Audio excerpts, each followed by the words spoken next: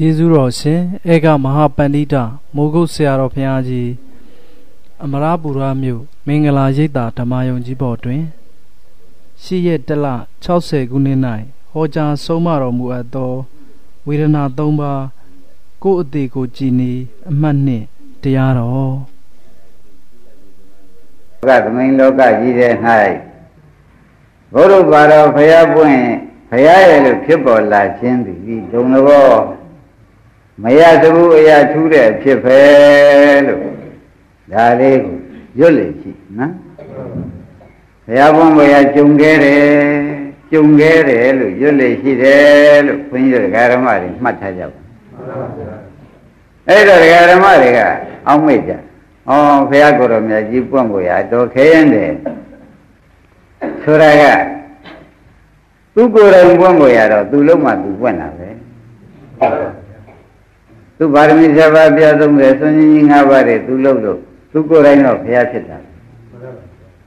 ကျွတ်တော်ဝန်ထဲမှာဘုရားဖြစ်ဖို့ရသိအရေးကြီးပါတယ်ကျွတ်တော်ဝန်ထဲမှာဘုရားပွင့်ဖို့ရကသိအရေးကြီးပါတယ်လို့မှတ်ထားကျွတ်တော်ဝန်ထဲမှာဘုရားဖြစ်ဖို့ရအရေးကသိအရေးကြီးတယ်ဆိုတာအလုံးဒကာဓမ္မတွေဝန်ထဲမှာဘုရားပွင့်ဖို့ရအရေးကြီး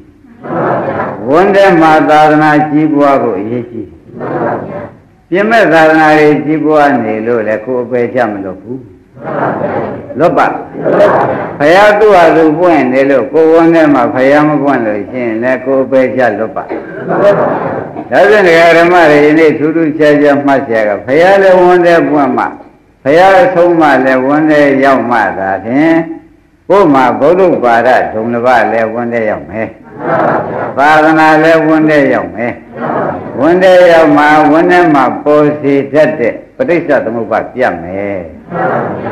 ဝန်းထဲမှာပေါ်တဲ့ပဋိစ္စသမုပ္ပါပြတ်မှသာလင်တန်တရားစခန်းတတ်မယ်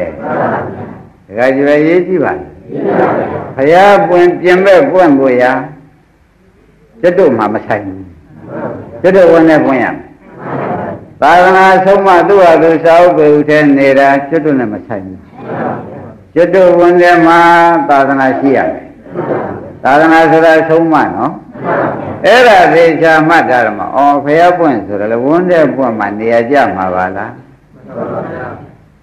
အဆုံးမလည်းဝန်ထဲရောက်မှနေရာကျမှာပါလားဖះသူ့ဟာသူတောင်ကျွန်းပွင့်နေတယ်မြောက်ကျွန်းကလူပါဆိုင်လို့ဆိုင်သေးရဲ့သာသနာဆုံးမဒီပိရိကသုံးပုံလေးကြောက်စာပဲတင်ထားထားကျွတ်တော်ဝန်ထဲမရောက်လို့ရှိရင်ဆုံးမတွေဝန်ထဲမရောက်ရင်အပယ်လွတ်ပါမလားမလွတ်ပါဘူး ဒါဖြင့်ယနေ့ဟောမဲ့တရားဖရာဝန်ထဲပွင့်ဖို့အရေးကြီးပြီအဆုံးမဝန်ထဲရောက်ဖို့အရေးကြီးပြီဒါကိုကြက်ကြက်ကြီးစိတ်ကြပါလို့ဆိုတာကိုလေးစားစွာနဲ့ပဲတရားဓမ္မတွေအရေးကြီးလို့ကြီးတယ်လို့ပြောတယ်လို့မှတ်လိုက်သမ်းပါခိုင်းတာဖြင့်ဒကာဓမ္မတို့ပြောကြပါစို့ဘုရားဆိုတာဒီဘာပါလဲသစ္စာလေးပါးတရားကိုသိတာဘုရား ကျွတ်တို့သစ္စာလေးပါးသိတာလေကျွတ်တို့ဝန်နဲ့ဘုရားရောက်ကျွတ်တို့မသိလို့ရှင်သူ့ဟာသူသိနေလို့ကျွတ်တို့မှာသောတာပန်သဂရကံဖြစ်ပါဒါရင်ဘုရားဒီပြင်မဲ့ပွင့်ကိုရေးကြည့်သလားကျွတ်တို့အတွက်မှာဝန်နဲ့ပွင့်ကိုရေးကြည့်ကဲကျွေတွေကဘုရားပွင့်လို့ဝန်တာမနေလိုက်ပါနဲ့ဘုဘကဒကာရမတွေကဘုရားပွင့်လို့ဝန်တာမနေလိုက်ပါနဲ့ဘုရားဆိုတော့ဘာပါလိမ့်လို့ဆိုတော့ ဘုဒ္ဓရီတိဘုဒ္ဓဗုဒ္ဓဖယားဘုဒ္ဓရီသစ္စာလေးပါးတရားကိုသိတဲ့တသမထိုးကြောင့်ဗုဒ္ဓဗုဒ္ဓမြည်ဆိုတဲ့အတိုင်းသစ္စာလေးပါးသူ့ဟာသူသိလို့သူဖယားဖြစ်တယ်ကျွတ်တို့လည်းအသိသစ္စာသိတဲ့ဝန်နဲ့ညာရောက်လာလို့ရှိရင်ကျွတ်တို့တဏ္ဍာဖယားပွင့်တယ်လို့မှတ်လိုက်ဒါရင်ဖယားပြင်ပက်ပွင့်ဖို့အရေးကြီးသလားဒကာရမတွေကိုဝင်းထဲမှာသစ္စာသိဉာဏ်ရောက်ဖို့ အဲ့ဒီအသိဉာဏ်ရောက်မှဘုရားပွင့်သည်မြည်တယ်ဆိုတာကိုရေးကြည့်တယ်လို့မှတ်လိုက်ပါသဘောပါကြဒါကြွယ်ဘုရားပြင်မဲ့ပွင့်ရမှာလားဝန်းနဲ့ပွင့်ရမှာအားလုံးတရားဓမ္မတွေဘုရားဝန်းနဲ့ရောက်ဖို့ရေးကြည့်တယ်နော်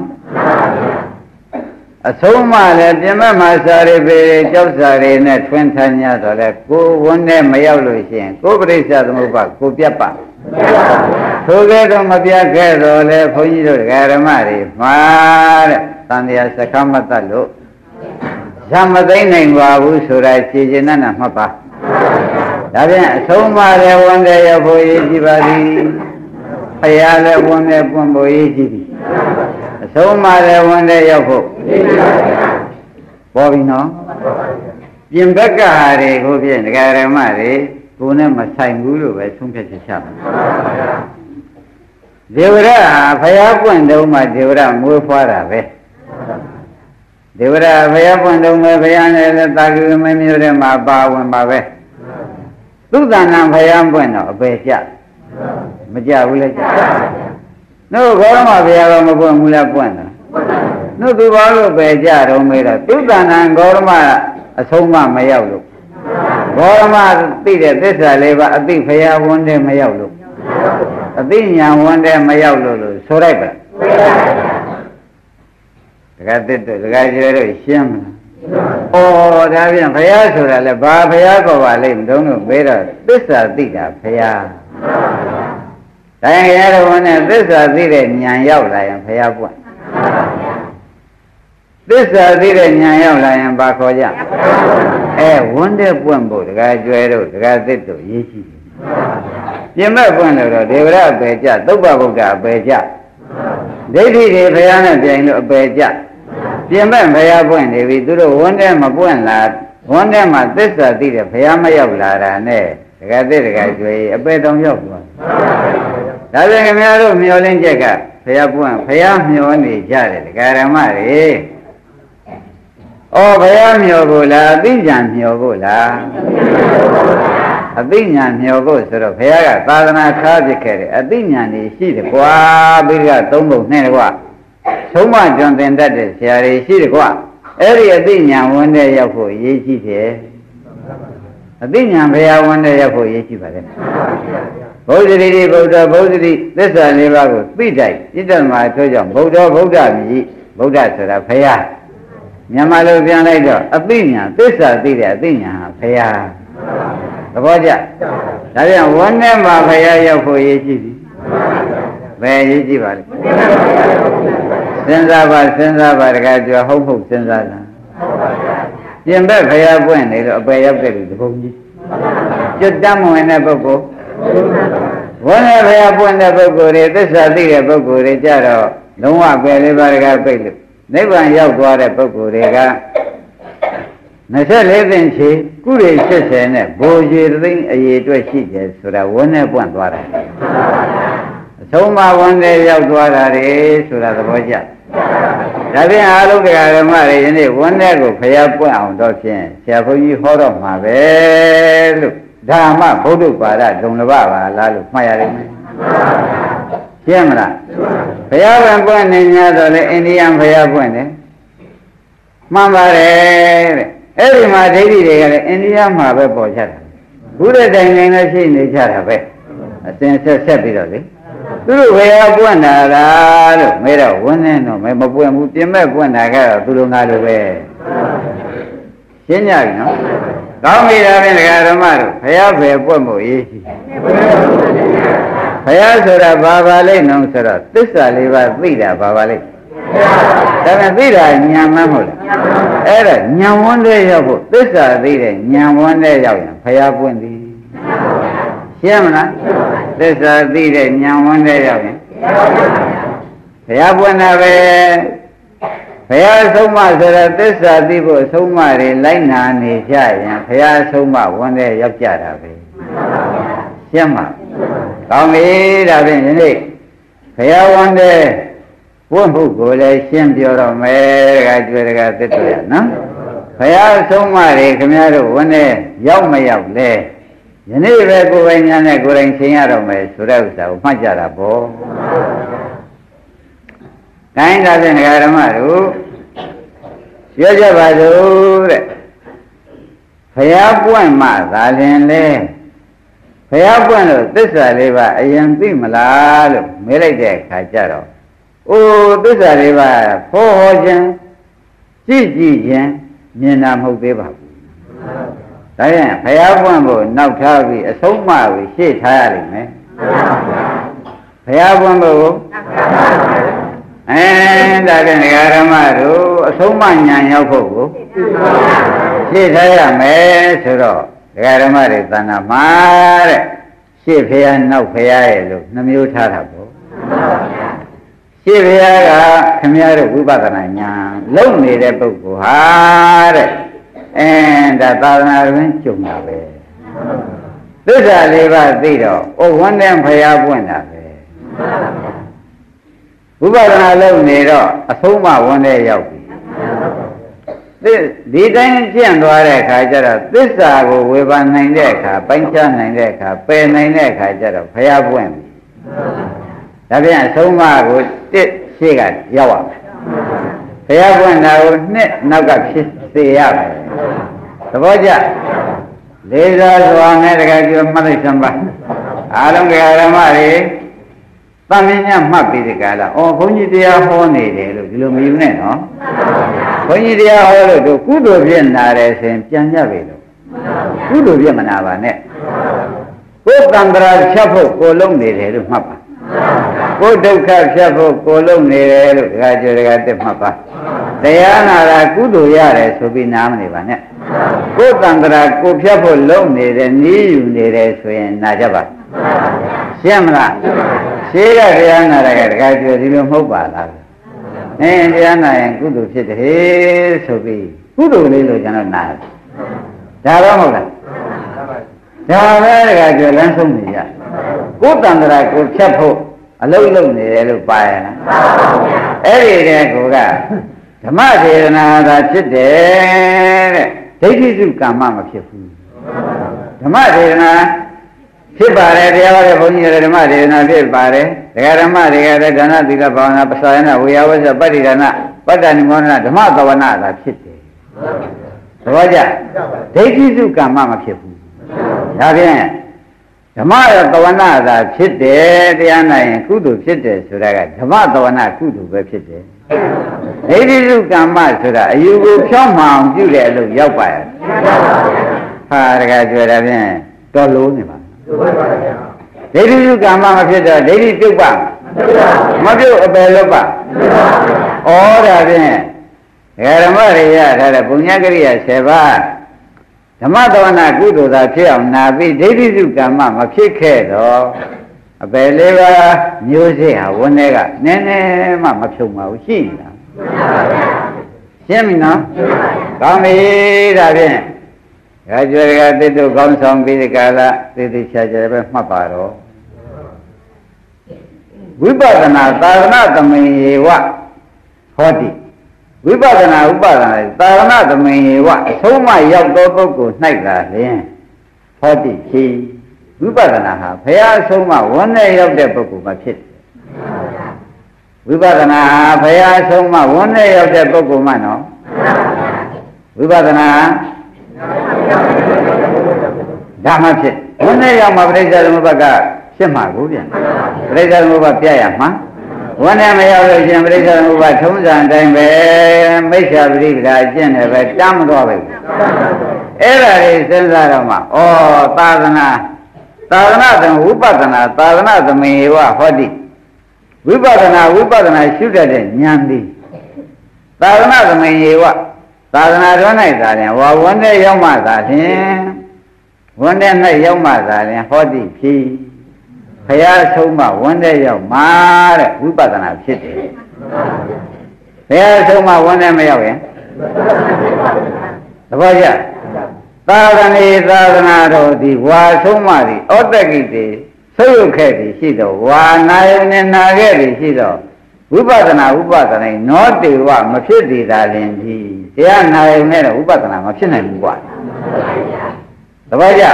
တရားနာယနဲ့ဒါဖြင့်ဓမ္မတို့ဝိပဿနာတွေဝန်းထဲမှာအလုံးလုံးမှာပဲရောက်ပါမယ်အလုံးမလို့ရင်ဟာတကယ်ကျွဲတကယ်စစ်လိုက်တော့လေအတော်ရေးကြီးကျင်ကြည့်ကြဘူးလားသေးသေးချာချာဘုန်းကြီးတို့ဒကာဓမ္မတွေဩတို့ဆရာဘုန်းကြီးက ဒုတိထားတာတွေတဲ့ပုံပြီးဒီကလာဒုတိထားတာကအပေါ်ယံသိပါကလားဟိုကျုပ်သာသနာ့ရင်ကျုံလို့တော်သေးရဲ့ဗျာသူ့ဟာသူကျုံနေတာသူလောဘဒေါသမှမဖြတ်ဖဲကျုံနေမဲ့ပဲသွားမသွားရဘူးလားအဲ့ဒါလေးညာနဲ့စဉ်းစားတော့မှသာယသမီးစီဝါရေးနဲ့ချိန်ကုန်နေတဲ့ပုဂ္ဂိုလ်ဖရာတော့ပွင့်ပါရဲ့သူစီဝါရေးရေးဆိုင်ပြီးဒီကလာ သူပရိစ္ဆေသမုပ္ပါကြီးသူတန်းနေတဲ့ပုဂ္ဂိုလ်ဖရာပွင့်ညာတော့လေတကသစ်တကကျွယ်မိစ္ဆာပฏิပဒါနဲ့သွားမသွားဘူးအဲ့ဒါသုတ္တနာဘဝနဲ့ဖရာပွင့်ပါရဲ့လားအဲ့ဒါလေးညာနဲ့စဉ်းစားတော့မှဒကာဓမ္မတွေဩဖရာပွင့်မပွင့်ဆိုတော့ပြင်ဘက်ကလိုရဲမဟုတ်ပါလားအတွန်းပွင့်ဖို့လိုရဲပါလားဆိုတာပေါ်လာတယ်ရှင်းမလားကောင်းပြီဒါဖြင့် ဝန်းနဲ့ဖရာပွင့်မပွင့်ဆိုတဲ့ကကျွေတကတစ်တို့သစ္စာသိတာဟာဖရာကိုသိလာလို့ရှိရင်လေဖရာဆုံးမှလည်းဝန်းတဲ့ရောက်ကိုယ်တဏ္ဍာမှလည်းဖရာရောက်ဆိုတာသင်ရှားတယ်ဒါမှမသိသေးတဲ့ပုဂ္ဂိုလ်ဟာဘုရားလည်းမပွင့်သေးဘူးလို့တခါကျော်မှတ်လိုက်ပေါ်ကြဒါဖြင့်ဒကာဓမ္မတို့ဒီလိုလုပ်ကြပါစို့သစ္စာသိမှကိုယ်ဝနဲ့ဘုရားပွင့်တယ် သစ္စာမသိမီဝိပဿနာဉာဏ်လုံးနဲ့မှလည်းခြေပိုင်းကလုံးနဲ့မှလည်းအဆုံးမှရောက်ဝိပဿနာလုံးနဲ့မှသစ္စာသိတော့ဘုရားပွင့်ဒါဖြင့်အဆုံးမရောက်မှုကတေ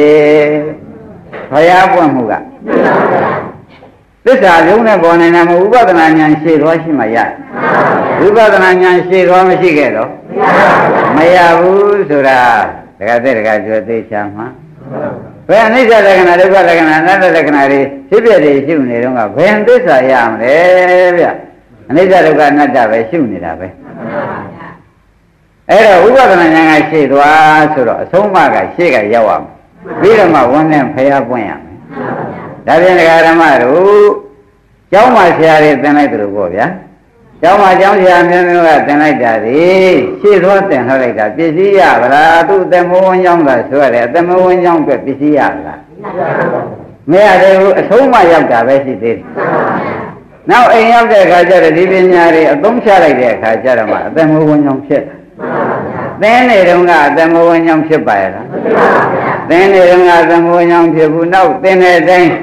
လောကီနယ်ထဲမှာဝင်တဲ့ဘေကရာစီးပွားကိုဒီပညာနဲ့ရှားလိုက်တော့မှအသက်မဝန်းကျောင်းဖြစ်သွားတပည့်ကြဒါဖြင့်သင်္နာမပါပဲနဲ့လည်းသမဝဉ္ဇောင်းဘုံနဲ့ဖြစ်နိုင်ပါဒါဖြင့်ဝိပဿနာဉာဏ်ရှေ့သွားရှိမှမဲ့ဉာဏ်ပေါ်မယ်ဝိပဿနာဉာဏ်ရှေ့သွားရှိမှသစ္စာသိတဲ့မဲ့ဉာဏ်ပေါ်ပြီးဘုရားဝန်ထဲရောက်မယ်ရှင်းမလားအမှန်လေးတခါကြွတာတော်တော်လေးလေးပြောရတယ် အဲ့တော့နာမရူပပရိစ္ဆေဒကျမ်းရတယ်ဆိုပါတယ်ဥပ္ပိစရိယထာတိသောပုရခိတ်တွာရုဏံတထဝိပဿနာပုရခိတ်တွာမဂ္ဂရမောပုတ္တိဝိပဿနာဝိပဿနာကိုပုရခိတ်တွာရှေ့တော်ရှိမှသာလဲမဂ္ဂရမောဖျားပွင့်တဲ့သစ္စာကိုသိတဲ့မဲ့ညာတိဥပ္ပိစရိဖြစ်ဝိပဿနာရှေ့တော်ရှိမှမဲ့ညာဖြစ်မယ် ဒါကြောင့်ဥပဒနာဆိုတဲ့အဆုံးအရှိကထားကိုယ်တဏ္ဍာဖျားပွင့်မှုမဉ္ဇဏ်ရမှုကိုဖျားဆိုတဲ့အဆုံးအသစ္စာလေးပါးသိတဲ့မဉ္ဇဏ်ရမှုကိုဒုတိယထားရမယ်သဘောပါဗလားကောင်းပြီဒါဖြင့်ဒါဆိုရင်ထူးထူးခြားခြားပဲလို့မှတ်ရင်ပဲ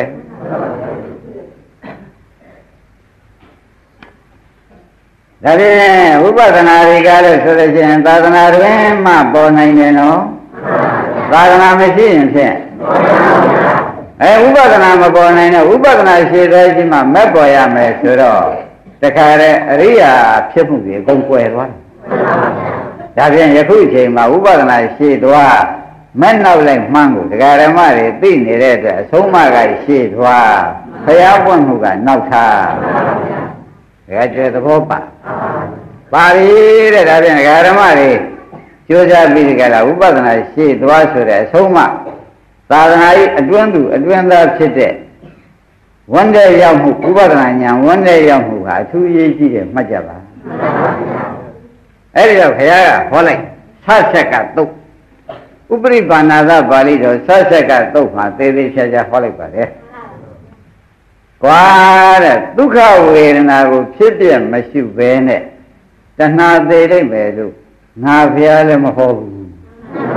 ရှရှင်းကဘုရားတွေလည်းမဟုတ်ဘူးဒုက္ခဝေဒနာဖြစ်ပြမရှိဘဲနဲ့တဏှာသေးလိမ့်မယ်လို့ငါဘုရားလည်းမဟုတ်ဘူးရှင်းဘုရားတွေလည်းอืมတကယ်ကြွယ်တဲ့ဒုက္ခဝေဒနာဖြစ်ပြမရှိရင်ပဲခက်ကြီးပါရှင်းမနော်ဒုက္ခဝေဒနာကိုဖြစ်ပြမရှိဘဲနဲ့ဒေါသသောကတည်လိုက်မယ်ဝါနိဗ္ဗာန်ရောက်လိမ့်မယ်လို့ငါဘုရားလည်းမဟုတ်ဘူး ရှင်းကဘုရားတွေလည်းဥပ္ပခာဝေဒနာကိုဖြစ်ပြမရှိဘဲနဲ့အဝိဇ္ဇာသေလိမ့်မယ်လို့ရှင်းပြရတယ်မဟုတ်ဘူးကွာငါဘုရားလည်းဟောတကယ်ကြတဲ့သူတို့သုံးခုသိရေးချင်း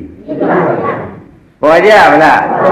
ဩဒါဖြင့်ငဃဓမ္မတွေတဲ့ဆက်ဆက်ကသုံးမှာကိုယ်တော်တိုင်ဟောပြီးဒီကရထားပြန်တော့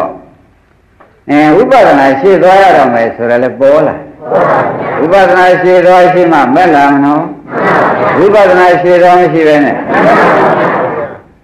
ဒါဖြင့်လည်းပြောလို့စဉ်းစားကြည့်တာပေါ့တော့ကြရှိခိုးပါပြီဘုန်းကြီးကြွလာရှိခိုးကဲကြောကြဆိုဆိုကာယကံဝစီကံမနောကံနဲ့ရှိခိုးပါရှိခိုးရတော့အကြောင်းကြောင့်အပေလေးဘက်ကသုံးမလွတ်ပြီးရင် နိဗ္ဗာန်မဲ့ဖို့ရပါလို့ဆိုဥပဒနာလည်းမပါဘူးသူပါရဲ့ဥပဒနာရှိတော်မရှိဘဲနဲ့မက်ကပေါ်ပါမလားအင်းဒါကထုံးစံဖျားတပည့်တော်လုံနေကြလုံတာပဲသာမှတ်လိုက်တာပေါ့ဗျာဥပဒနာသွင်းရမယ်နော်တိုင်းနာပြန်ဥပဒနာသွင်းကြပါစေဝိပဿနာမပါတော့သစ္စာသိတဲ့ဖရာဝန်နဲ့မပွင့်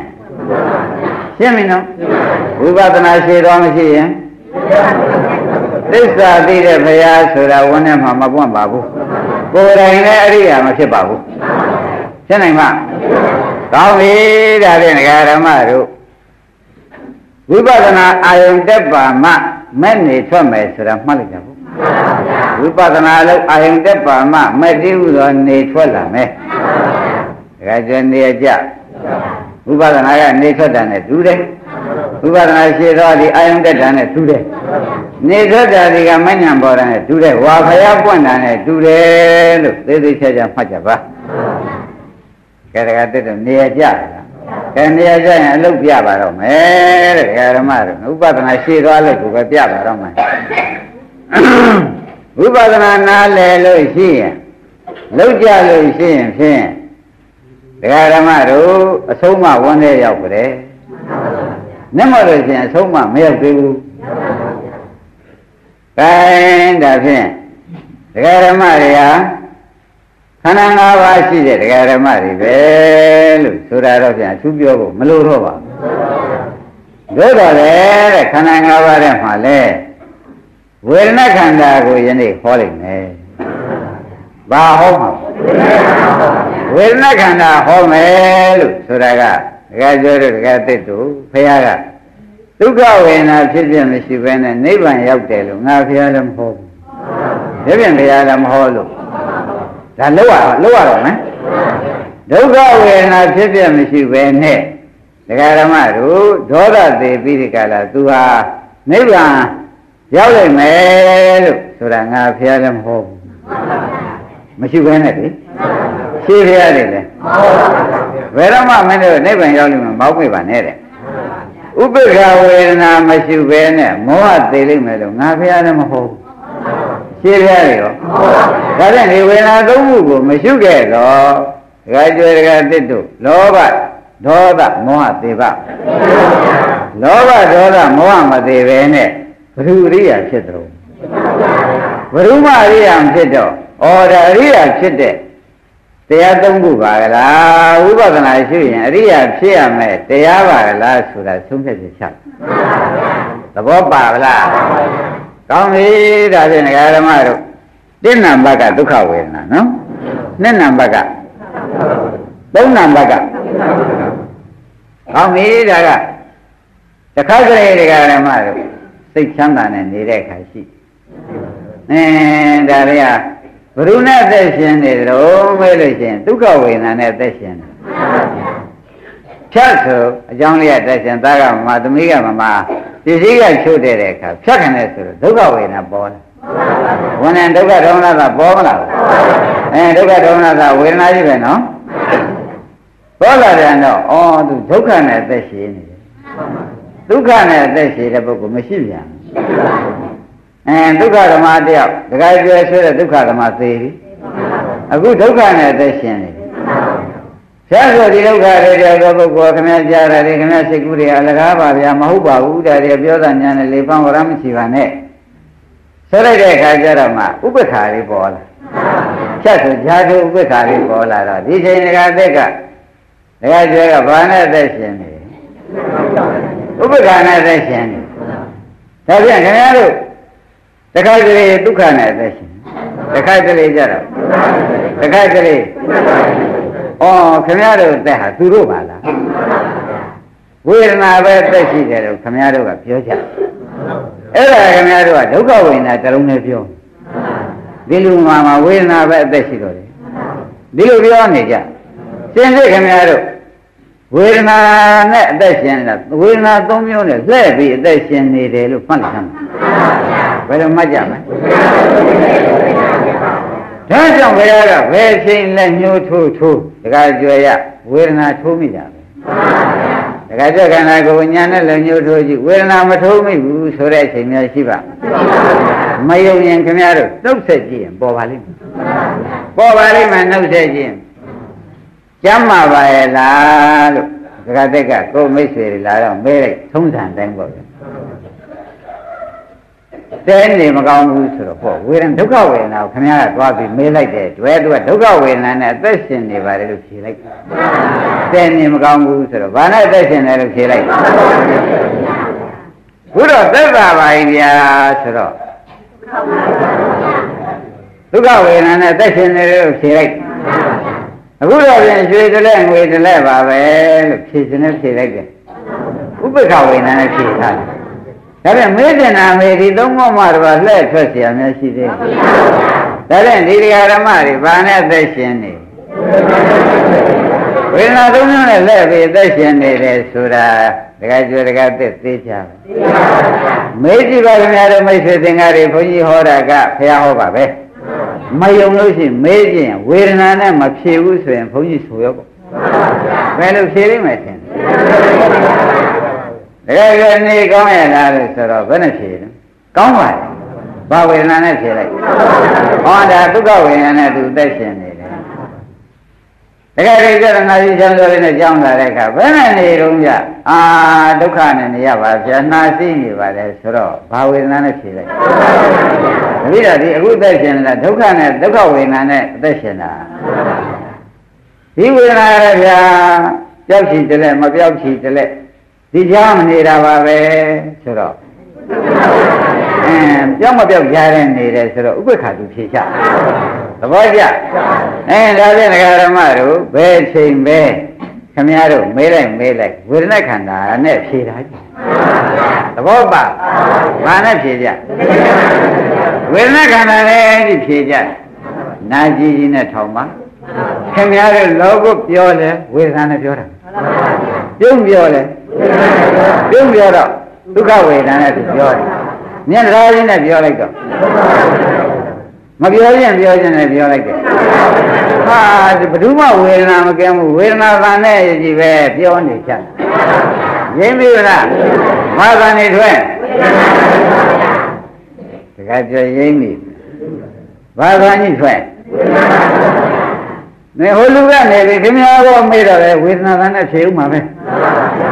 အဲ့ဒါကနေခင်ဗျားတို့ကိုအတိမ်လုံးကိုဘယ်နဲ့များနေကြတော့မေးလိုက်တော့အလုံးကြမ်းမှာပါရဲ့ဆိုတော့တကယ်အလုံးဒုက္ခဝေဒနာကြီးပဲဝေဒနာကြီးပဲပုဂ္ဂိုလ်တ attva မပါဘူးလို့ပြောနေတာမပြောဘူးလားပြောရှင်းမလား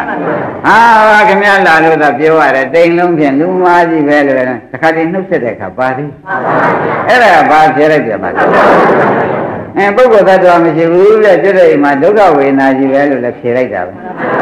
သဘောကျဒါပြန်ခင်ဗျားတို့ဒီဝေဒနာကင်းအောင်တခါကျွယ်စကားပြောကြည့်စမ်း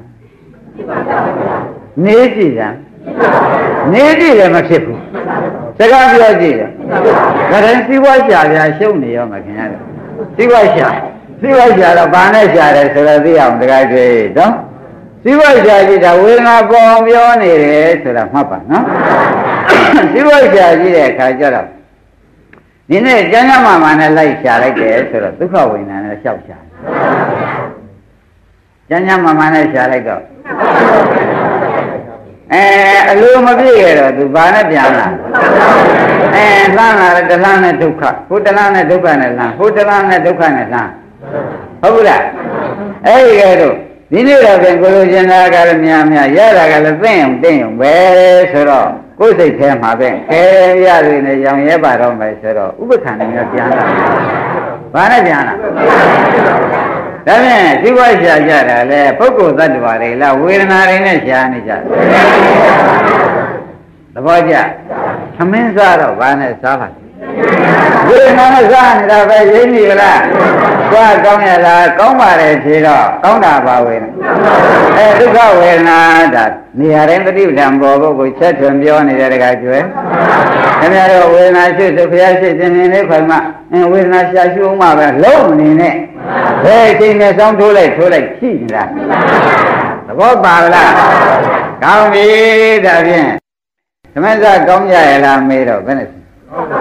အဲလူရဖြေတာလားဝေဒနာဖြေတာအဲဒီဝေဒနာကိုခင်ဗျားတို့ကဖြစ်ပြမေးအောင်ရှုရတယ်သဘောကျဘယ်လိုဒီနေ့ခင်ဗျာဓမ္မစကြရတာမိန်ပါရလားမမိန်ဘူးလားဆိုတော့မမိန်ဘူးလို့ဖြေပြန်တော့ဘယ်နဲ့တော့အာကျုပ်တော်ဗျာတုတ်တဲ့ရုပ်ကင်းနဲ့ဝန်းပြေပဲမျိုးလေးရတာပဲဆိုတော့ဟောသွားပြန်တယ်ခင်ဗျားတို့ဝေနာလုံးမျိုးနဲ့လှည့်ပြီးစားနေတာ အဲ့ဒါဓမ္မတွေကမသိတော့ဟိုလူမာကြီးဖုတ်ဝင်နေသလိုလူခင်ဗျားတို့ဖုတ်ဝင်နေတယ်တော့သိတာမဟုတ်ဘူးသိပြီဗလားခင်ဗျားတို့ဖုတ်ဝင်နေတာပဲအဲဘုဝင်နေတာတကယ်ကျေတော့ဟိုလူမကြီးဖဏတ်တူလေးအောက်ကထိုးလိုက်ဩဇာရဲ့နဲ့အောက်ကထားလိုက်ဟုတ်ထွက်သွားလိမ့်မယ်ရင်းနေဗလားအဲဒီမှာဟိုလူမကခင်ဗျားတို့က တော်တော့ကိုအစမ်းသက်ကောင်းတဲ့တွေကိုလူမမာကြီးကိုတော့စမ်းသက်ကြည့်တာတခါမှမပါဘူးဝေဒနာရှိတဲ့ပုဂ္ဂိုလ်လူမာလို့ဆိုခြင်းများရှိပါရဲ့ဝေဒနာဆိုတော့ဒုက္ခဝေဒနာလည်းဖြစ်ပြီးပြတ်တော့သိတာပဲဒုက္ခဝေဒနာရောဥပ္ပခဝေဒနာရောဒါဖြင့်ခင်ဗျားတို့လည်းဒီဥစ္စာတွေဒီကားလို့ဆိုလို့ရှိရင်ဖြင့်ဖုံးဝင်နေတာတက်တက်ပဲသဘောကျ အဲ့ဒါတွေကဓမ္မတွေကနားမလဲပါမလဲနဲ့ဖြစ်ပြီးဒီကလာနေတော့လူမာကသမဏမစားဘူးရေးလေးတော့ပြီးသက်ရှင်နေတယ်ဆိုပြီးဒီကလာတကကျွယ်တို့ကရှင်းကြတယ်လူတွေပေါ့ဗျာဟာနဲ့ဟာအသက်ရှိတော့မရှင်ပါဘူးဖုတ်ပဲထမရဲ့ပြောကြတယ်ကိုဘိုးဝင်နေတာတော့ကိုမသိဘူးသိနေဗလား ကိုဘိုးဝင်နေတာတော့ကိုမသိဘူးဆိုတော့ဝေဒနာတွေဟူသောတရားတွေကားလို့ဆိုလို့ရှိရင်ဖုတ်ကောက်မှာပဲလို့မှတ်ကြပါနော်အဲ့ဒီဖုတ်ထွက်သွားလို့ရှိရင်ဖြင့်တရားဓမ္မတို့ဝေဒနာတတ္တဝါရမပြောက်သေးဘူးလားဒါကြောင့်ဝေဒနာနံခယောဘိက္ခုလိစ္ဆာတော့ပြိဋိဘုတော့ဝေဒနာဖုတ်တာထွက်သွားလို့ရှိရင်မင်းတို့နိဗ္ဗာန်ရောက်ပြီတပည့်ကြအခုတရားဓမ္မတွေကဝေဒနာတွေတွေမှဟုတ်ပါရဲ့ဟုတ်ပါဗျာ ဒါဟုတ်ဝင်နေတာရင်းပြီမလားအဲ့ဒါဒီဝေဒနာပြီးတော့ဖုတ်ကောင်ကိုကုံအောင်ခမည်းတော်နှင်းနိုင်ရှင်းနိုင်ကြလို့ရှိရင်ဝေဒနာနိရောဓတဏှာနိရောဓဖြစ်တဏှာနိရောဓနိဗ္ဗာန်ဟောဝေဒနာရှင်းသွားရင်နိဗ္ဗာန်ရောက်ဒါကြွေသိဖုဒ္ဓံပါလားဒါဖြင့်ဓမ္မတွေဘာရေးကြည့်တော့ဖုတ်ပဲနှကောင်ရှိတုံးခိုထဲမှာအဲ့ဒီဖုတ်ကောင်သုံးကောင်ဟာသူစားဝါနေတာပဲ ရိမ့်မိဗလားနေရင်ချာကျွေးနေရတာလောက်ကလားဆိုင်ပေါင်းဘလောက်ကုန်မလုံးတယောက်တယောက်ဟိုဖုတ်စားတာလေရိမ့်မိဗလားအမလေးတရားဓမ္မတွေကကိုကိုကိုဖုတ်ဝင်နေတယ်တော့မသိဘူးခရရအဲ့ဒီဖုတ်တာထွက်သွားလို့ရှိရင်မင်းတို့အကုန်ဖြစ်တဲ့ဒီဘုဝေဒနာတွေမရှိတော့ပါဘူးဆိုရင်ဖြင့်ဝေဒနာပြစ်เสียမရှိဘူးကွာ ဒါဖြင့်တဏှာလာပါဦးလားတဏှာမလာတော့တဏှာနိရောဓနိဗ္ဗာန်တဏှာချုပ်သွားပြီကွာဟုတ်ကောင်ချုပ်လို့တဏှာချုပ်ဟုတ်ကောင်မချုပ်ရင်ဒါဖြင့်ခင်ဗျားတို့ဒီကပြန်လို့ရှိရင်ဖြင့်ဖုတ်ကောင်ပဲခွန်ဆက်ရအောင်မယ်မဆက်ရဘူးစားကောင်းတော့ဒုက္ခဝေဒနာဆက်ရစားမကောင်းတော့ဒုက္ခဝေဒနာဖုတ်ကောင်ကိုဆက်ရဝန်းကြီးသိရတဲ့အခါကျတော့ဒါဖြင့် ဒီဘုတ်ကောင်ကြီးမထွက်တဲ့ကာလပတ်လုံးခမရတို့အမြဲတောင်းနေမှာမတောင်းဘူးအဲ့ဒါခင်ဗျားတို့ကျွတ်တို့ကတော့တော်ပါသေးရဲ့သူအိယာတွေကကြီးတောင်းနေတာခက်တယ်လို့ပြောနေခင်ဗျားတို့မတ်တက်ပြီးတဲ့ဖုတ်ကိုရိပ်မိလားဟိုကအိယာထဲမှာမထားနိုင်တဲ့ဖုတ်လူမာကခင်ဗျားတို့တော့မတ်တက်သွားလာတဲ့ဖုတ်ကောင်ဒါကကြွားကြံသေးလားမကြွားကြံတဲ့ဖုတ်ကုန်ဆက်နေရတာကဲဒါကသိကောကြွားကြံသေးလား အားလုံးဘုရားဓမ္မတွေရိပ်မိဒါဖြင့်ဒီဝေဒနာ၃မျိုးတည်းဟူသောဖုတ်ကောင်ကိုခင်ဗျားတို့ဩဇာရွတ်တို့ဖဏတ်တို့တို့မှမထွေးရင်ဒီဖုတ်ထက်သွားပါဒီမှာလည်းဒုနည်းဒီပဲဒီဖုတ်ကောင်မချုပ်ပြီမထွက်ပြီဟာဝေဒနာမချုပ်လို့ရှာတဲ့တဏှာဘယ်တော့မှမချုပ်ဘူးအများအားခွန်ဆက်ရမယ်တဲ့ရိပ်မိကြဒါဖြင့်တရားဓမ္မတို့ဝေဒနာနံခယောဘိက္ခုဘိက္ခုယံဝေဒနာဝေဒနာကိုခယောကုန်အောင်တဲ့ ဥပဒတိဥပဒနာရှုတာဝေဒနာကိုအောင်ရှုกว่าအဲ့တော့ဝေဒนาကုံတော့ဝေဒနာချုပ်တာပဲမဟုတ်လားဝေဒနာနေရောတာရွက်လိုက်ပါလားဟောတဏှာချုပ်သွားပြီကွာတဏှာနေရောတော့နိဗ္ဗာန်ကကွာတဏှာချုပ်ရင်ပါ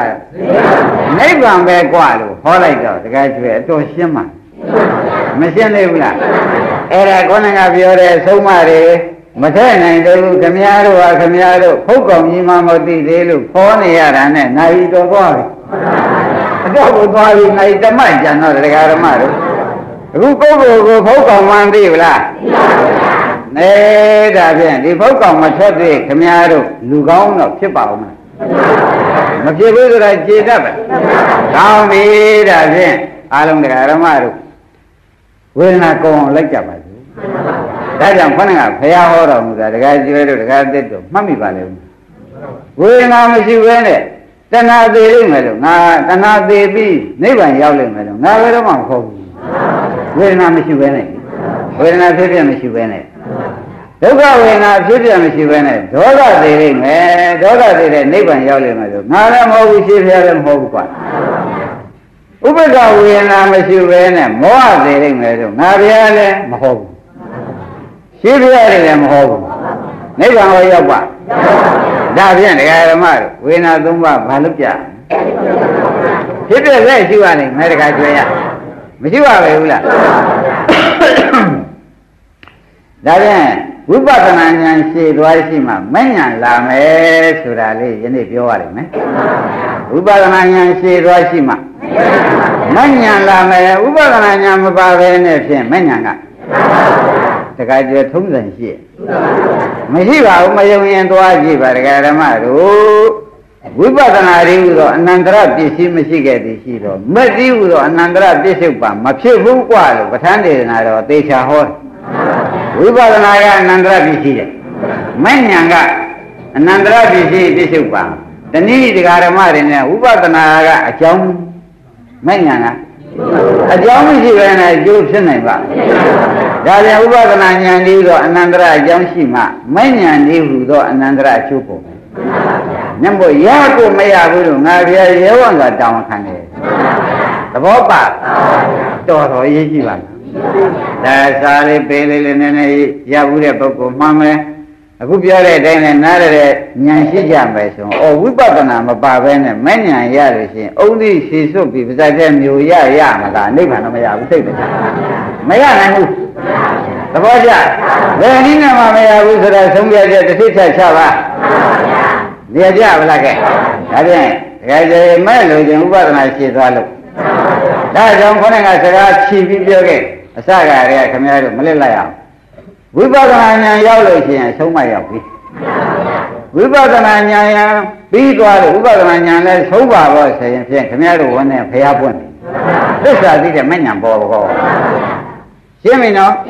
ကဲဒါဖြင့်ငါပြောဝေဒနာပဲမျိုးရှိတယ်ဘုရုမှရှိတာတော့ဗျာခန္ဓာထဲမှာရှိတာငါးပါးမထည့်ရဘူးငါးပါးမထည့်ရဘူးဝေဒနာတကူရသုံးပါးပြထားတာခန္ဓာထဲမှာရှိတယ်ခမရတို့တဏ္ဍာမှာဝေဒနာပဲမျိုးရှိဝေဒနာတွေဟုတ်ကြဆေးလက်လွတ်ရမလားမလွတ်ရသေးဘူးမလွတ်ရသေးဘူး တဲ့ဒါကြဲဆေးလက်လွတ်ရဒုက္ခဝေဒနာကဟုတ်လားဒုက္ခဝေဒနာခံစားကြပါတယ်ဆိုရင်တဏှာကအရှာထွက်ရတယ်ဒုက္ခဝေဒနာခံစားကြတယ်ဆိုရင်အရှာထွက်ပြီးဒုက္ခဝေဒနာရှိခွန့်ပေးရသဘောကျ ဒုက္ခဝေဒနာကလည်းသူကရှာခိုင်းဒုက္ခဝေဒနာကလည်းဆာရမောသိတဲ့ဒုက္ခဝေဒနာမလားဘူးအဲဒုက္ခဝေဒနာထားကြလာပြီဆိုလို့ရှိရင်ဖြင့်ဒကာဓမ္မတွေကဒေါသမောဟနဲ့အရှာမထုတ်ဘူးလားအဲဒေါသမောဟနဲ့ကြပြကြယူမထဲရဘူးလားအဲ့ဒီတော့ခွန်ဆက်နေရတယ်ဥပ္ပဒါဝေဒနာကလည်းဒကာဓမ္မတို့ငါဒီကားလို့ဆိုလို့ရှိရင်ဖြင့်မိသူတူတယောက်မှမဆက်ဆံခြင်းဘူး ဆိုပြီးဥပ္ပဒါဝေဒနာပေါ်တဲ့ခါရှိတယ်အဲ့ဒီခါကျတော့အိမ်တကားပိတ်ပြီးဒီကလာသူ့ခွန်ဆက်ရသူဘယ်လိုနဲ့မှမတွေ့ရင်တွေ့ရင်သူဖောက်ပြန်မှာဆိုးတယ်သဘောကျအဲ့ဒီလိုခင်ဗျားတို့နေတိုင်းတခါကျွေးမော်တော်ကားကြီးစင်းနဲ့မန်းလေးမောင်းလိုက်တောင်မြို့ပဲလှည့်မောင်းလိုက်ဘာရီခွန်ဆက်မလို့ခင်ဗျားကဒီလောက်ပြာရတာတော့မေးရင်ရိပ်မိလား ဝေဒနာဘလူးသုံးကောင်ကရှိနေတယ်ဗျ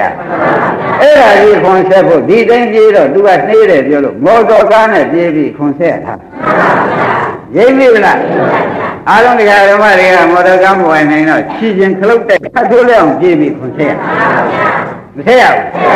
အဲ့ဒါနဲ့ချိန်ကုန်နေတာပဲဒါကြောင့်ဝေဒနာချုပ်သွားရင်အခွန်ဆက်တဲ့ဒုက္ခဟာဘယ်နဲ့လဲ ဒါကြောင့်ဝေဒနာချုပ်ရင်တရားဓမ္မတို့တဏှာချုပ်လို့ဒုက္ခလည်းချုပ်ပေါ်သဘောပါလားကြက်ကြက်စဉ်းစားပြီးနာတော်မှာဒီဥစ္စာခင်ဗျားတို့စားသွားကြည့်လို့ဒါမပေါ်ပါဘူးဒါကတူတူပဲရေးမယ်တူတူစားသားနဲ့ရေးလိုက်တဲ့ပြန်ကိုဖြစ်စဉ်ပေါ်မရောက်လာပါဘူးအခုတော့ဖြစ်စဉ်ပေါ်ရောက်လာတရားဓမ္မတွေကိုပိုးရှာထွက်ကြတာဘာတော့လို့မေးလို့ရှိရင်ဘယ်နဲ့ဖြေပါ့မလို့ ဝေဒနာခွန်ဆက်ဖို့မခက်ရတဲ့ဒုက္ခဖြစ်နေတာရင်းမိသလားမခက်ရတဲ့ဒုက္ခဖြစ်နေတော့တရားကျေပိုးလိုက်ပြီးဒီကလာကမောမှာဖြစ်စေဆံရမှာဖြစ်စေသွားပြီးဒီကလာမဝဲရဘူးလားအဲ့ဒါဒုက္ခကြီးအလိုပြည့်အောင်အခုတော့ဒီကမခက်ရလို့ဒုက္ခဝေဒနာကငမန္ထသဘောကျဒီကမခက်ရတော့တရားကျေဒုက္ခဝေဒနာဘာဖြစ်ငမန္ထမနေဘူးလား ဒါဘိုးနဲ့မှရှာမကုလို့ရှိရင်ဘယ်နဲ့တော့ရပါမလားဒါနဲ့ဒုက္ခဝေဒနာနာကြွတာနဲ့ပိုးနဲ့ကုပြီးဒီကလာနေရခုတော့ဒီဝေဒနာကတော့ဒုက္ခဝေဒနာနာကပြောက်ပြီးဒုက္ခဝေဒနာနာကကြွတာချက်ချင်းကိုကြွမကြွဘူးလားရမှာပဲခုနည်းနည်းလေးခန္ဓာရည်ရှိတော့တယ်ဆိုပြီးဒုက္ခဝေဒနာနာကကြွတာဒုက္ခဝေဒနာနာကကြွလာတော့ကောင်းကောင်းဝတ်ခြင်းကောင်းကောင်းစားခြင်းဆိုပြီးခိုင်းနေတာပဲ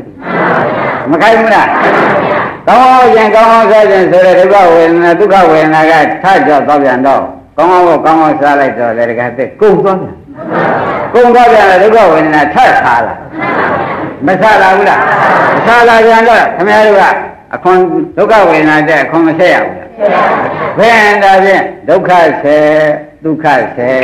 ဟုတ်လားရာရဥပ္ပခါနဲ့အလုံးရလည်းမတတ်နိုင်ဘူးကမရလည်းမတတ်နိုင်ဘူးကရှာတော့ရှာမှာပဲ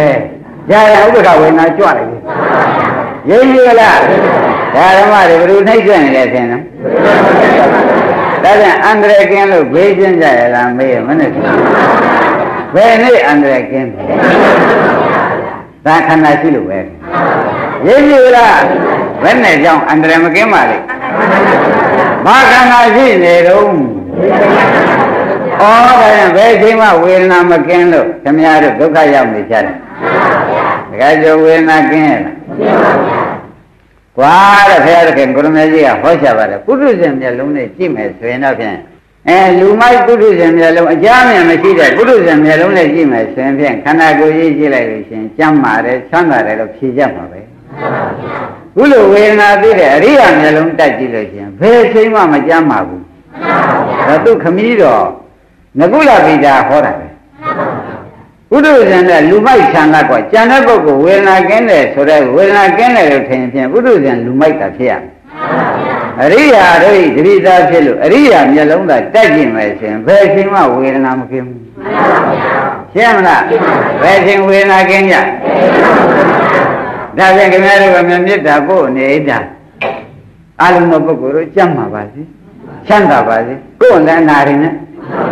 ရင်းပြီလားကိုယ်နဲ့ဘယ်နဲ့ပြင်းလဲအနာဘယ်လုံးပေါက်အဲအနာရင်တရေရနေပြီသူများကျမ်းပါပါစေချမ်းသာပါစေဆိုတဲ့တကယ်ကျွဲတော့မခက်ဘူးလားအဲ့ဒါကအဘိဓမ္မာနည်းနဲ့ဆိုရင်ဘယ်ရှိမှမကျမ်းပါသုတ်တံသမထနည်းနဲ့ဆိုလို့ရှိရင်မေတ္တာပို့ရပို့အဘိဓမ္မာနည်းနဲ့တော့ပြန်ခန္ဓာကိုယ်ကဘယ်လိုပဲပို့ဖို့ဝေဒနာသုံးပါကြွနေတာရှင်းမလား ဒါဖြင့်ဓမ္မတို့သုတ္တနည်းနဲ့ဖြင့်သမထနည်းနဲ့ဖြင့်မေတ္တာပို့တာကောင်းတာ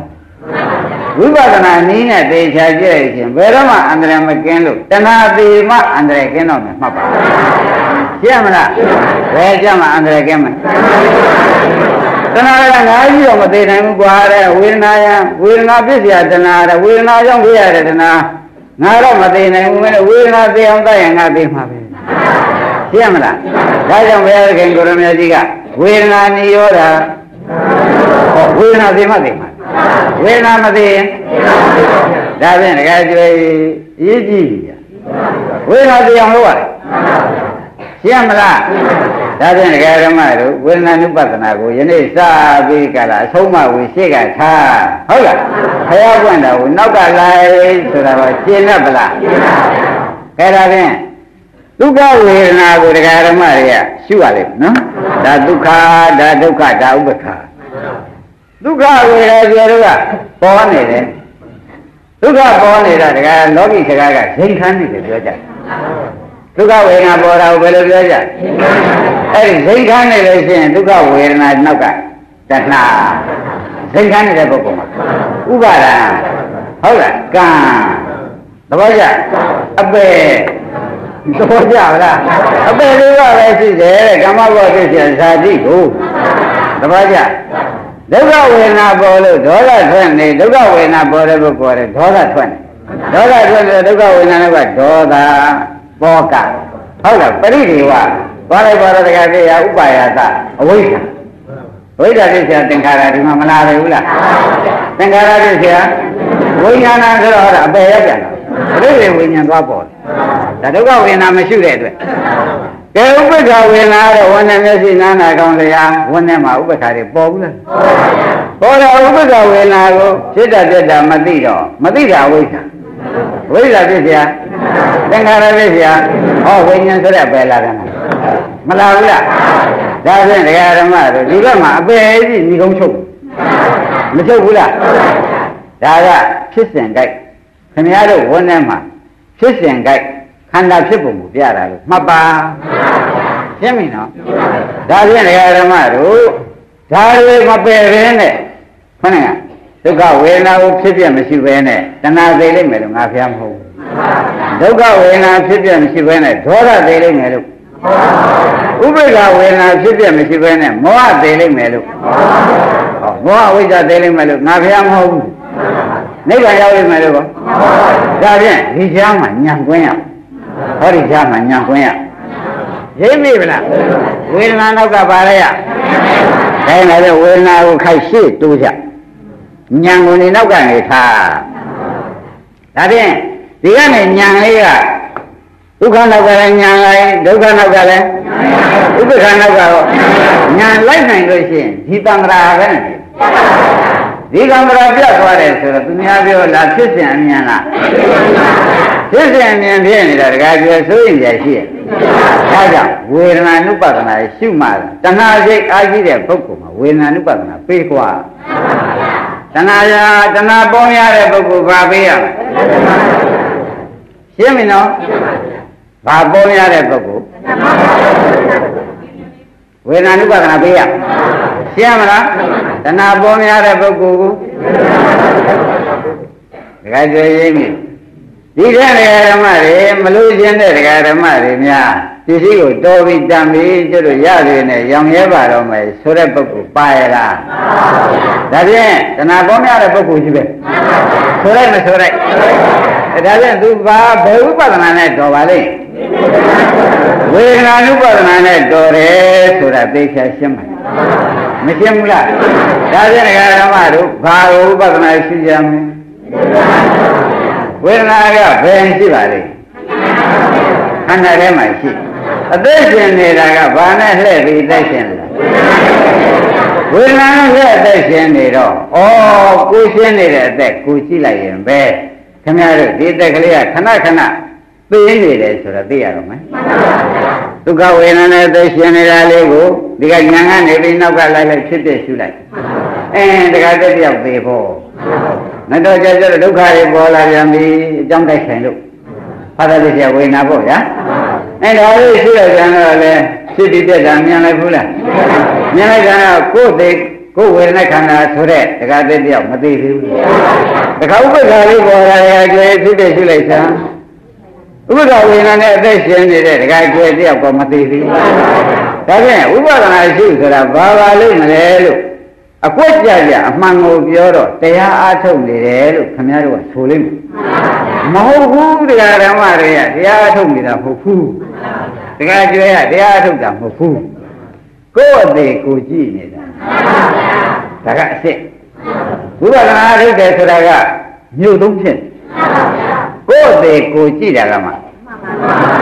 ကိုယ့်အသေးကိုကြည့်တဲ့ပုဂ္ဂိုလ်ဟာအော်ကိုယ့်အသေးဟာမြန်လာကြည့်လားကိုယ့်အတုပါကိုသိ ကိုယ်ဒုက္ခကိုယ်အနိစ္စဒါပြန်သူများအနိစ္စသိလို့ကိုယ်မမရဘူးဗျကိုယ်အနိစ္စသိမှသူများဒုက္ခကြောင့်ကိုယ်ကခင်ဗျားတို့ကိုယ်ကုသိုလ်ကဒုက္ခရောက်တယ်တို့တော်သေးရဲ့ဆိုတဲ့တဏှာကလာတယ်ကိုယ်ဒုက္ခကိုသိတော့ဖြစ်တဲ့ဒုက္ခကိုကိုယ်ဒုက္ခကိုသိတော့တော်ပြီတန်ပြီဒီခန္ဓာမလို့ရှင်ဘူးလား သဘောပါလားဒါကြောင့်ဥပဒနာရှိတာဒီမျိုးလုံးကတော့ဥပဒနာရှိတာပဲအမှန်ကန်ပြောကြမ်းပါဆိုတော့ဘယ်လိုပြောကြရှင်းမလားပါပါလိမ့်ကိုယ်သေးကိုကြည့်ခိုင်းဒါဖြင့်ခမရတို့ကပြောကြအကွက်ကပေါ်လာခမရတို့ငကိုယ်တုန်းကကိုယ်သေးကိုမမြင်ဘူးပါဘူးမမြင်ဘူးပါဘူးသူများသေးတော့ခမရတို့အတုပပုတ်လို့မြင်ဘူးတာပေါ့ ကိုယ်သေးတော့မမြင်ဘူးပါဘူးတဲ့ဩဒီတခါဖြင့်ဘုရားအဆုံးမရောက်လာလို့ကိုယ်သေးကိုမြင်ရဘုရားကရှိတာဘုရားအဆုံးမမဟုတ်လားအဲ့တော့ဘာဖြစ်လာတော့ဒါတိုင်းတော့သေတော့သေလေးကြတဲ့ဘဝပေါင်းပဲဝူဝူလာတောင်အောင်မြင်ပါတဲ့တို့တော့မြင်ဘူးရဲ့မမြင်ဘူးတော့ခင်ဗျားတို့ဘယ်မှနိဗ္ဗာန်မရခဲ့ဘူးရခဲ့ရလားဒါရင်ဒါပြန်တခု ဥပဒနာရှိလိုက်တော့အဲဒီဝေဒနာနဲ့အသက်ရှင်နေတဲ့ပုဂ္ဂိုလ်ဒီဝေဒနာဖြစ်ပြီးပြတ်သွားတော့တယောက်သေးတာဒါပြန်ဥပဒနာရှိတာပါပါလေကိုယ်တည်းကိုကြည့်ကြတာရှင်းမလားကောင်းပြီကိုယ်တည်းကိုမြင်တဲ့ပုဂ္ဂိုလ်အပြင်ကိုယ်တည်းကိုမုန်းလို့မယ်ဆိုတဲ့ကိုယ်တည်းကိုမြင်တာကဟုတ်တိုင်းမှန်ဆိုတာသိတယ်ညာဝါစာတို့သုံးရထဘုဒ္ဓညာကိုယ်တည်းကိုကြည့်ရပါများလို့မုန်းလာတာက ကိုယ်တည်းကြီးကိုမလို့ကျင်တာကဒါနဲ့တဲ့ရတယ်ဆက်ဆက်ကတုံးမှဒီတိုင်းဟောပါတယ်ကိုယ်တည်းကိုကိုမြင်တာဘာညာလို့ကိုယ်တည်းမြင်မြင်ရပါများလို့မုန်းလာတာကဒီဆိုရင်နဲ့ပြန်နေရမနေခြင်းတော့ဘူးလို့စွန့်ပြစ်ခြင်းနဲ့ညာကမဲ့ညာဆိုတာကိစ္စပြီးတယ် သဘောပါဒါကြောင့်ဒါနတ္တလက္ခဏာတို့သွားကြည့်လေဒီညာတို့ဧဝမေတံယထာဘုတံသမပညာတထဗံဆိုပြီးယထာဘုတညာဟောလိုက်ဧဝံပတ္တံဘိက္ခဝေဝေဒနာယပိနိဗ္ဗိန္တိဆိုပြီးနိဗ္ဗိန္ဒညာဟောလိုက်နိဗ္ဗိန္ဒံတော့ဝိရိသတိနိဗ္ဗိန္ဒံတော့ညီဝိရိတိရှိတော့ဝိရိသတိမဉဏ်ပေါ်လာ၏တက်ချင်းကဲနဲ့မဉဏ်ပေါ်လာ၏ဆိုတော့ဉာဏ်သုံးဉာဏ်ဟောတာဒါပြန်အလို့စင်မှာခင်ဗျားတို့ ဝေဒနာရင်ဖြစ်ပြမြန်ကြည့်မှုတဏ္ဍပတ်ဝေဒနာဖြစ်ပြကိုမောအောင်ကြည့်မှုဝေဒနာဖြစ်ပြကိုဆုံးအောင်ကြည့်မှုအဲသုံးနာမှရှင်မက်ဆိုင်ပြီးတော့အောင်ပြီသဘောကျဒါဖြင့်ရာဓမ္မတို့မက်ဆိုင်တော့ခန္ဓာကိုယ်ထဲမှာဖျားပွင့်ဝေဒနာဖြစ်ပြမြင်တော့ဝေဒနာဖြစ်ပြကိုမုံတုံးပါတော့ဖျားဆုံးမှရောက်ဖြစ်ပြမြင်ဖြစ်ပြမုံတဲ့ညာဟာဘာပါလဲ အဲ့ဒါဘုရားဆုံးမသာသနာ့ရမ်းကြုံလို့အဆုံးမရောက်တာဖြစ်တဲ့ဆုံးသွားတော့ကိုယ်တန်တာမှာကိုပါဖြစ်အဲကိုယ်ဝန်းထဲမှာဘုရားပွင့်လို့ကိလေသာအဆက်ပြတ်သွားတာဒီကြည့်ပါလားတဏှာပြတ်တယ်ဟုတ်လားဒေါသပြတ်တယ်မောဟပြတ်မပြတ်ဘူးလားဟောဒီရတဲ့ဓမ္မတွေဖြစ်တဲ့ကနေရာတိုင်းသာလိုက်ပဲဒါကြောင့်ဝေဒနာကိုတခုတည်းရှိလို့နေကမရအောင်ပေါ်ရသုံးမျိုးကိုလက်ရှိနေရသ ဘောကျတခုလေးရှိလို့ရှိရင်လည်းတချို့နေရာမှာဒုက္ခဝေဒနာရှိတော့ဒေါသရင်သေပြီးဒီကလာကြံတဲ့တဏှာတွေကအဝိဇ္ဇာတွေကသေပါဘယ်နည်းနဲ့မှနိဗ္ဗာန်မရဘူးလို့ငါဘုရားဟောလိုက်တယ်လို့ဆက်ဆက်ကသုံးမှတောင်းလိုက်တယ်ဝေဒနာသုံးပါးကိုသူ့ဟာနဲ့သူတိုက်ရဒုက္ခဝေဒနာမရှိရင်တဏှာမတည်ဘူးဒုက္ခဝေဒနာမရှိရင်ဥပ္ပဒါဝေဒနာမရှိရင်သေဖို့ကိုတခြား သေလို့ကိုတခြားစီဖြစ်နေတဲ့အတွက်ဒုက္ခဝေဒနာတွေတစ်လုံးဒုက္ခလည်းချုပ်သွားပြီဆိုုံနဲ့ငါကမ္မထာပေးပြီလို့မယူလိုက်ပါဒုက္ခလည်းချုပ်အောင်ဥပ္ပခါအောင်သူတို့မချုပ်လို့ရှင်သူတို့နောက်ကအစဉ်ဆက်ပေါ်မဲ့ပရိစ္ဆေသမုပ္ပါကြီးကချုပ်နိုင်ပါသဘောကျလားကဲနိုင်ရှိပြီယနေ့ဒီရင်တော့ကြစို့